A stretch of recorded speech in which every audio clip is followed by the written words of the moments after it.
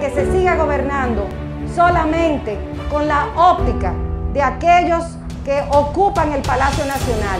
Tenemos que gobernar con el corazón, los ojos y nuestro oído en lo que es las entrañas y el sector productivo nacional.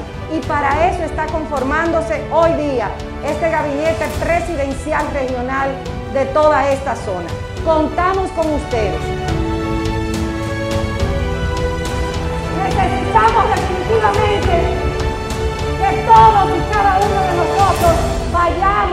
A ejercer nuestro derecho al voto, porque ya no es posible, no podemos seguir permitiendo que nadie elija por nosotros.